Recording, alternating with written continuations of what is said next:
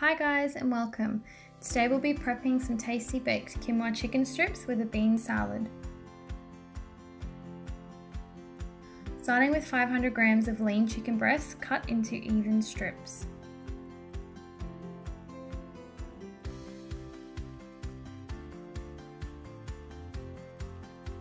Make sure the strips are cut fairly thin so they cook through properly.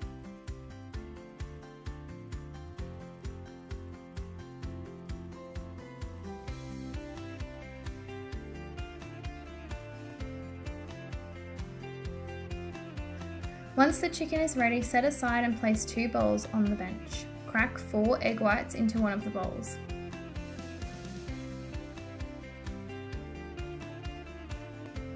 Lay out a baking tray covered in aluminium foil and spray with coconut oil to prevent the chicken from sticking to the tray.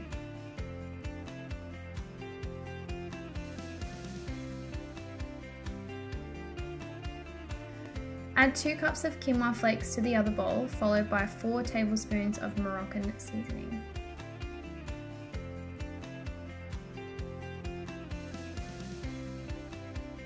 Combine the coating mix by stirring with a large spoon until the seasoning is evenly spread.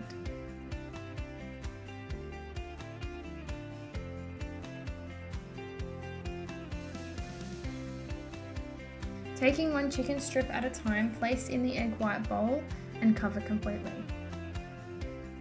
Place the strip into the coating mix bowl, covering and rolling until the chicken is completely coated. Space out the strips on the baking tray evenly. Continue this process until all of the chicken strips have been coated and placed on a tray.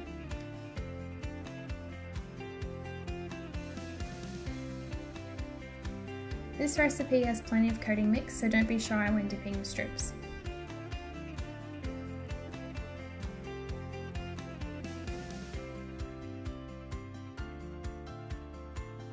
Place the chicken strips in the oven for 20 minutes. Moving on to the salad, start with two large handfuls of baby spinach in a large bowl.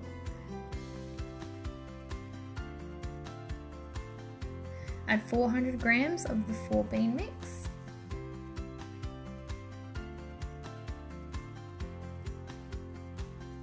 A third of a cup of semi-dried tomatoes.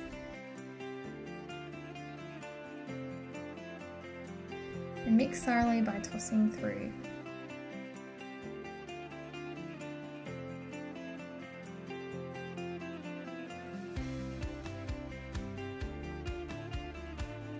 Add a tablespoon of balsamic vinegar dressing and toss the salad again to combine.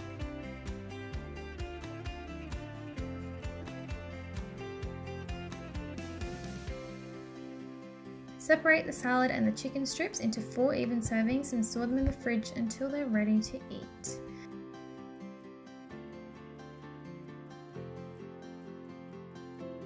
Thanks for watching guys and enjoy your meal.